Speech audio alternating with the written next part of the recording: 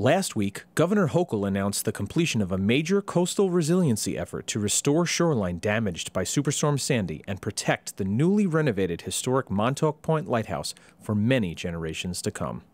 Uh, we're making these public investments in, in the landscape uh, for good reason. I mean, we're starting to see the effects of climate change now at an increased rate, increased severity all across the state.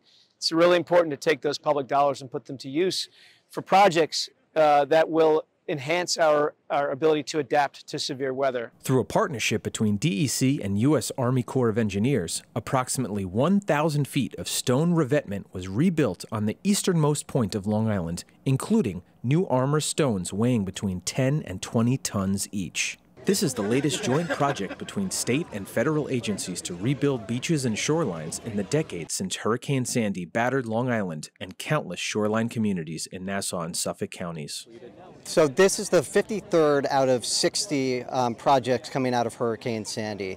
So we've got five more currently in construction and then, and then with two more to go. We are very proud of the teamwork between the federal, state, and local level, and it's a great example of what we can do as a community and as a nation.